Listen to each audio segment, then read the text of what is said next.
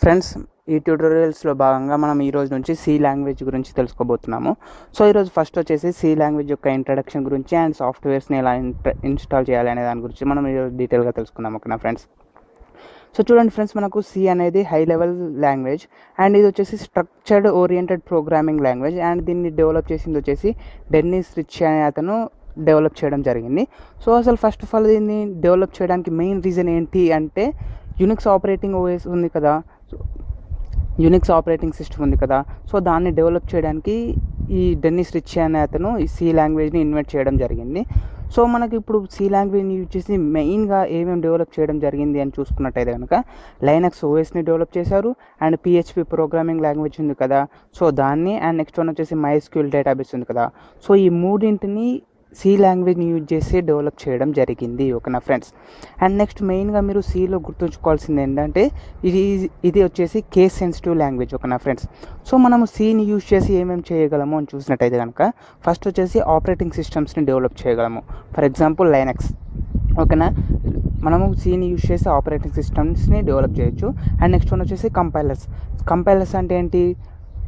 Human readable code నుంచి machine readable కోడ్కి translate చేస్తుంది కదా. సో దాన్ని వచ్చేసి మనం కంపైలర్ అంటాం ఓకేనా? సో ఈ కంపైలర్స్ని కూడా మనం సీని యూజ్ చేసి డెవలప్ చేయవచ్చు. అండ్ నెక్స్ట్ వన్ వచ్చేసి టెక్స్ట్ ఎడిటర్స్ టెక్స్ట్ ఎడిటర్స్ అంటే నోట్ ప్యాడ్ కానీ నోట్ ప్యాడ్ ప్లస్ ప్లస్ కానీ సో అలాంటి టెక్స్ట్ ఎడిటర్స్ని కూడా మనము సి లాంగ్వేజ్ని యూజ్ చేసి డెవలప్ చేయొచ్చు. అండ్ నెక్స్ట్ వన్ వచ్చేసి డ్రైవర్స్ సో మీకు ఆల్రెడీ తెలుసు డ్రైవర్స్ అంటే ఆడియో డ్రైవర్ కానీ ప్రింటర్ని సంబంధించిన డ్రైవర్స్ కానీ ఉంటాయి కదా. సో అలాంటి డ్రైవర్స్ డెవలప్ చేయాలనుకున్నా కూడా మనం దానికోసం వచ్చేసి సి లాంగ్వేజ్ని యూజ్ చేస్తాం ఓకేనా ఫ్రెండ్స్ అండ్ నెక్స్ట్ వన్ వచ్చేసి మోడర్న్ ప్రోగ్రామ్స్ ఓకేనా? సో అంటే ఇప్పుడు వచ్చే అప్కమింగ్ ప్రోగ్రామింగ్ లాంగ్వేజెస్ ఉన్నాయి కదా. సో అలాంటి ప్రోగ్రామింగ్ లాంగ్వేజెస్ని డెవలప్ చేయాలి అనుకున్నా కూడా దానికోసం వచ్చేసి మనం పి దీన్ని యూజ్ చేస్తాం ఓకేనా సో ఇక్కడ చూసినట్టయితే కనుక మనం సి ప్రోగ్రామింగ్ రాసి దాన్ని ఎగ్జిక్యూట్ చేయాలి అనుకుంటే దానికోసం వచ్చేసి మనము ఐడిఎస్ని యూజ్ చేస్తాము లేదా సాఫ్ట్వేర్ని యూజ్ చేస్తాము. సో ఇక్కడ ఐడిని యూజ్ చేయడం వల్ల ఏంటంటే మనకు ఎగ్జి రన్నింగ్ ఎగ్జిక్యూషన్ అనేది మనకు చాలా సింపుల్గా ఉంటుంది ఓకేనా ఫ్రెండ్స్ సో ఇక్కడ మనం మెయిన్గా చూసినట్టయితే ఫోర్ టైప్స్ ఆఫ్ ఐడీస్ గురించి ఇచ్చాను ఇక్కడ. ఫస్ట్ వన్ వచ్చేసి ఏంటంటే code blocks and next one వచ్చేసి Microsoft Visual Studio NetBeans Eclipse ఓకేనా ఫ్రెండ్స్ సో ఈ ఫోర్ ఐడీస్లో మీరు ఏ ఐడి యూస్ చేసినా పర్లేదు. సో ఇక్కడ మనం ఈ ట్యూటోరియల్లో అయితే మెయిన్గా కోడ్ బ్లాక్స్ ఐడిని యూస్ చేసి ప్రోగ్రామ్స్ని డెవలప్ uh, చేయడము అండ్ ఎగ్జిక్యూట్ చేయడం జరుగుతుంది. ఓకేనా ఫ్రెండ్స్ సో ఇప్పుడు మనం వచ్చేసి ఆ కోడ్ బ్లాక్స్ ఐడిని ఎలా ఇన్స్టాల్ చేయాలి అనే దాని గురించి ఇప్పుడు మనం డీటెయిల్గా తెలుసుకుందాం. ఓకేనా సో చూడండి ఫ్రెండ్స్ మీకు వచ్చేసి కోడ్ బ్లాక్స్ డాట్ ఆర్గ్ అని టైప్ చేసినట్టయితే బ్రౌజర్లోకి వెళ్ళి మనకు ఇలా ఓపెన్ అయిపోతుంది. సో దాంట్లో వచ్చేసి డౌన్లోడ్స్ అనే ఆప్షన్ ఉంది కదా సో డౌన్లోడ్స్లోకి వెళ్ళినట్టయితే మనకి ఇక్కడ two down two types of downloads ఉంటాయి. డౌన్లోడ్ ద బైనరీ రిలీజ్ అని ఒక ఆప్షన్ ఉంటుంది అండ్ నెక్స్ట్ వన్ వచ్చేసి డౌన్లోడ్ ద సోర్స్ కోడ్ అని ఉంటుంది. సో దాంట్లో వచ్చేసి డౌన్లోడ్ ద బైనరీ ఆప్షన్ పైన క్లిక్ చేసినట్టయితే మనకి ఇలా వచ్చేస్తుంది విండోస్ ఎక్స్పీ సెవెన్ టెన్ అనేసి. సో దీంట్లో వచ్చేసి మనకు టోటల్గా సిక్స్ టైప్స్ ఆఫ్ సాఫ్ట్వేర్స్ అనేటివి అవైలబుల్లో ఉంటాయి. సో ఈ సిక్స్ టైప్స్ ఆఫ్ సాఫ్ట్వేర్స్లో వచ్చేసి మనం ఓన్లీ ఫోర్త్ వన్ ఉంది కదా code block sixteen point zero one ming ming W setup dot EXE అనేసి. సో ఈ ఫోర్త్ వన్ని మాత్రమే మనం డౌన్లోడ్ చేసుకోవడం జరుగుతుంది ఓకేనా ఫ్రెండ్స్ సో ఈ మింగ్ డబ్ల్యూ అని ఉంది చూ చూడండి అది వచ్చేసి మన కంపైలర్ అనమాట మనం రాసే కోడ్ని మెషిన్ అండర్స్టాండబుల్ ఫార్మాట్లోకి చేంజ్ చేయడానికి ఈ మింగ్ డబ్ల్యూ అనే కంపైలర్ అనేది యూజ్ అవుతుంది ఓకేనా సో ఈ ఫోర్త్ సాఫ్ట్వేర్ని మాత్రమే మీరు ఇన్స్టాల్ చేసుకోండి. సో డౌన్లోడ్ చేసుకోండి. సో దానికోసం వచ్చేసి ఇక్కడ సోర్స్ ఫోర్జ్ లేదా ఫాస్ట్ హబ్ అని ఇచ్చేసారు కదా? సో ఆ రెండింటిలో నుంచి ఏదైనా ఒక వెబ్సైట్ నుంచి మీరు డౌన్లోడ్ చేసుకోవచ్చు. సో ఇక్కడ చూసినట్టయితే కనుక మనకు లైనక్స్ కానీ మ్యాక్ కానీ విండోస్ కానీ అన్నింటికి సంబంధించిన సాఫ్ట్వేర్స్ అనేటివి ఉన్నాయి. సో ఇక్కడ నేను చూడండి సోర్స్ ఫోర్జ్ డాట్ నెట్ నుంచి డౌన్లోడ్ చేస్తున్నాను. సో దానిపైన క్లిక్ చేయగానే మనకు ఆటోమేటిక్గా డౌన్లోడ్ అనేది స్టార్ట్ అయిపోతుంది. ఓకేనా ఫ్రెండ్స్ సో చూడండి download of code blocks will be start in two seconds అనేసి వచ్చేసింది. సో ఇప్పుడు మనకు కోడ్ బ్లాక్స్ అనే ఐడి డౌన్లోడ్ అయిపోతుంది. ఓకేనా friends first of all IDE అంటే ఏంటి? అంటే ఇంటిగ్రేటెడ్ డెవలప్మెంట్ ఎన్విరాన్మెంట్ ఓకేనా? సో మనం కోడింగ్ని రాసి దాన్ని ఎగ్జిక్యూట్ చేయడం అనేది దీంట్లో చాలా సింపుల్గా ఉంటుంది. ఓకేనా ఫ్రెండ్స్ సో దానికోసమే మనం అంటే టైంని తగ్గించడానికి మనం దీన్ని యూజ్ చేస్తాం. ఓకేనా? సో చూడండి కోడ్ బ్లాక్స్ అనేది డౌన్లోడ్ అయిపోయింది. సో దాన్ని వచ్చేసి మీరు డబల్ క్లిక్ ఇచ్చి అయినా ఇన్స్టాల్ చేయొచ్చు లేదా రైట్ క్లిక్ ఇచ్చేసి ఓపెన్ అండ్ పైన క్లిక్ చేసినా కూడా మనకు ఇన్స్టాలేషన్ అనేది స్టార్ట్ అవుతుంది. ఓకేనా ఫ్రెండ్స్? సో చూడండి యాక్సెప్ట్ చే ఇన్స్టాల్ చేయాలా సాఫ్ట్వేర్ని అని అడుగుతుంది. సో ఎక్స్ పైన క్లిక్ చేసినట్టయితే మనకు సాఫ్ట్వేర్ అనేది ఇన్స్టాలేషన్ జరుగుతుంది.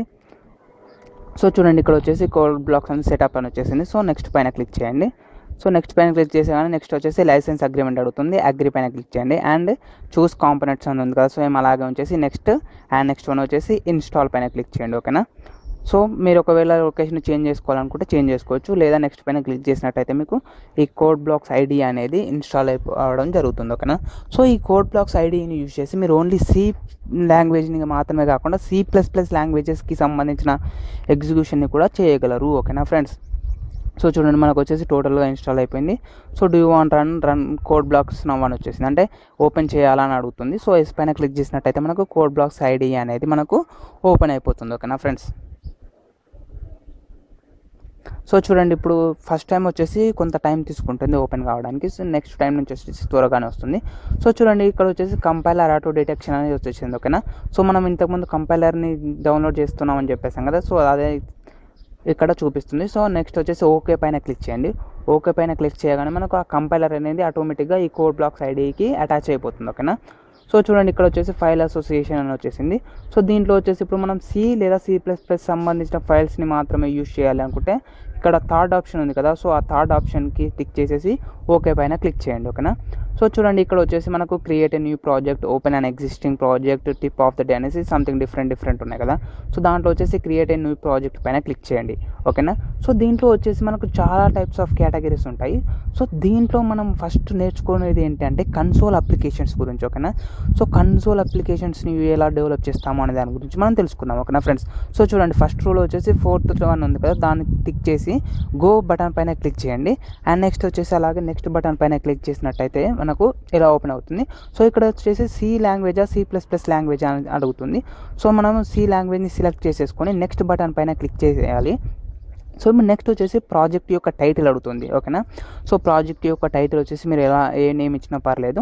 సో నేను ఇక్కడ వచ్చేసి మన ఛానల్ నేమ్ ఇచ్చేస్తున్నాను ప్రోగ్రామింగ్ ట్యూటోరియల్స్ ఇన్ తెలుగు అనేసి ఓకేనా ఫ్రెండ్స్ సో నెక్స్ట్ వచ్చేసి folder to create project in అంటే ప్రాజెక్ట్స్ అనేటివి ఫైల్స్ అనేటివి ఇక్కడ స్టోర్ అవ్వాలి అనేసి అడుగుతుంది. సో నేను దానికోసం వచ్చేసి లోకల్ డిస్క్ ఈలో ఒక ఫోల్డర్ క్రియేట్ చేశాను సి లాంగ్వేజ్ అనేసి. సో దానిలో ఇచ్చేస్తున్నాను లొకేషన్ వచ్చేసి. అండ్ నెక్స్ట్ పైన క్లిక్ చేయండి. సో నెక్స్ట్ పైన క్లిక్ చేశాక ఫినిష్ అని వస్తుంది. సో ఫినిష్ పైన క్లిక్ చేయండి. సో ఫినిష్ బటన్ క్లిక్ చే క్లిక్ చేయగానే మనకు వచ్చేసి ఒక బేసిక్ జావా ప్రాజెక్ట్ అనేది సారీ సి ప్రాజెక్ట్ అనేది డెవలప్ అవుతుంది. సో ఇక్కడ చూడండి రైట్ సైడ్ లెఫ్ట్ సైడ్లో చూసినట్టయితే ప్రోగ్రామింగ్ ట్యూటోరియల్స్ ఇన్ తెలుగు అనేసి వచ్చేసింది. అది మన ప్రాజెక్ట్ అనమాట సో దాంట్లో వచ్చేసి సోర్సెస్ అనే ఫోల్డర్ ఉంది కదా. సో ఆ సోర్సెస్ అనే ఫోల్డర్ క్లిక్ చేసినట్టయితే మెయిన్ డాట్ సి అనే ఒక ఫైల్ ఎగ్జిక్యూట్ అవుతుంది ఓకేనా సో ఈ మెయిన్ డాట్ ఫైల్ అనేది ఆటోమేటిక్గా వచ్చేస్తుంది బై డిఫాల్ట్గా సో ఇది ఇక్కడ చూసినట్టయితే కనుక మనం వచ్చేసి ఆటోమేటిక్గా కోడ్ కూడా ఉంది. సో ఒకసారి దీన్ని మనం ఎగ్జిక్యూట్ చేసి చూద్దాం. అంటే వర్క్ అవుతుందా లేదా అని చూద్దాం. ఓకేనా ఫ్రెండ్స్ సో మనము రన్ చేయాలి అన్నా లేదా కంపైల్ చేయాలి అనుకున్నా కూడా చూడండి ఇక్కడ వచ్చేసి మనకు ఒక గేర్ ఐకాన్ కనిపిస్తుంది కదా బిల్ అనేసి. సో అది వచ్చేసి కంపైల్ కోసం. అండ్ ఈ యారో మార్క్ వచ్చేసి రన్ కోసం. అండ్ నెక్స్ట్ ఒకవేళ మీరు రెండు ఎట్ ఏ టైం చేయాలనుకుంటే ఇక్కడ గేర్ ప్లస్ ఆరో మార్క్ ఉంది కదా ఆ సింబల్ని క్లిక్ చేసినట్టయితే కనుక మనకు ఎట్ ఏ టైం కంపైలేషన్ అయిపోయి రన్ అవుతుంది ఓకేనా సో చూడండి ఇక్కడ మనకు వచ్చేసి హలో వరల్డ్ అనేది అవుట్పుట్ వచ్చేసింది ఓకేనా ఫ్రెండ్స్ సో మనకు అవుట్పుట్ అనేది ఆటోమేటిక్గా కమాండ్ ప్రాంప్ట్లోనే ఓపెన్ అవుతుంది ఓకేనా సో చూడండి ఇది వచ్చేసి ఒక బేసిక్ సి ప్రోగ్రామ్ ఓకేనా? సో ఇక్కడ నేను ఏం చేస్తున్నా అంటే సింపుల్గా ప్రింట్ఎఫ్లో ఉన్న వాల్యూని చే తీసేసి నేను ప్రోగ్రామింగ్ ట్యూటోరియల్స్ ఇన్ తెలుగు అని యాడ్ చేశాను. అండ్ నెక్స్ట్ వచ్చేసి same cum build and run పైన క్లిక్ చేసినట్టయితే మనకు అది కంపైల్ అయిపోయి అండ్ అవుట్పుట్ అనేది డిస్ప్లే అవుతుంది ఓకేనా? సో చూడండి ఇక్కడ ప్రోగ్రామింగ్ ట్యూటోరియల్స్ ఇన్ తెలుగు అనేది మనకు డిస్ప్లే అయిపోయింది ఓకేనా ఫ్రెండ్స్?